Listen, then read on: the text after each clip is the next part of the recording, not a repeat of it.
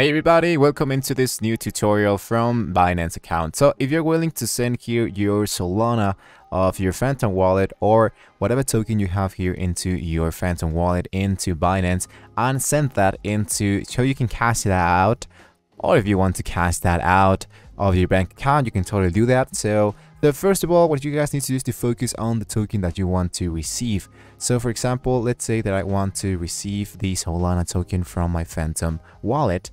So first of all, let's see if we can do this from Phantom into Binance.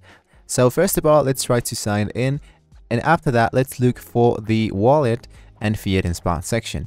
Once you're in here, let's try to filter our coin. In my case, I want to look for Solana. As you can see, it's right in here.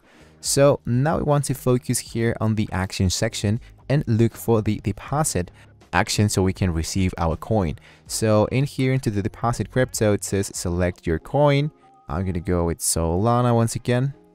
And now it's going to be asking us for a network, right? So if I go back into my Phantom wallet, I want to choose Solana and I want to choose the option that says send.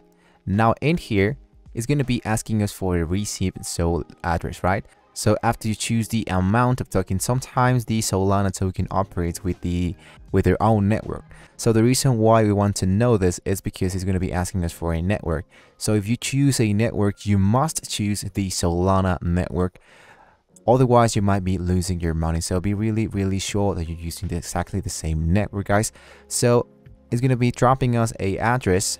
So I want to go into clip to copy this and go back into my Phantom wallet and I can do exactly the same process. Send my Solana into this Solana uh, receivement address and choose if you want the maximum amount. Why not? Go into the next section and just confirm your transaction. In my case, I just need a little bit more uh, of Solana in order for making this transaction. But you can guys just go ahead and go into continue because in this case I just need a little bit more of Solana and I'm just waiting until and I'm actually waiting for a transaction to be successfully done so I cannot do that at the moment. But after you make the transaction you're gonna go into your recently transaction that you can see right into your dashboard. So you can go into Solana token and you might see that, that these are the tokens that you are uh, gaining as you made the transaction so far.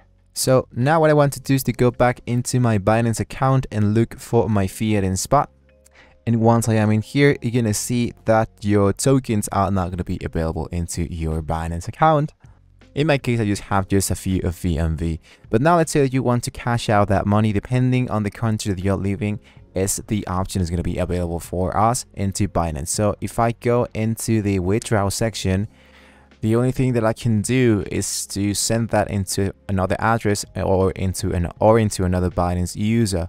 Or what I can do is to try to convert my token into the currency that works into my country and after that what I can do is to withdraw my money into my bank account. So as you can see here, here's the currency and the withdrawal we can make bank transfers from SEPA or, or your Visa card.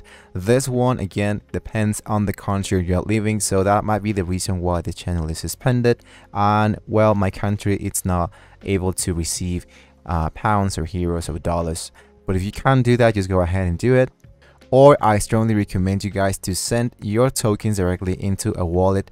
That can be compatible with the with the main currency that allows your bank account, your country. So hopefully this was a pretty useful video for you guys. Thank you so much for watching this video. Don't forget to like and subscribe to the channel and hopefully I will see you on the next one.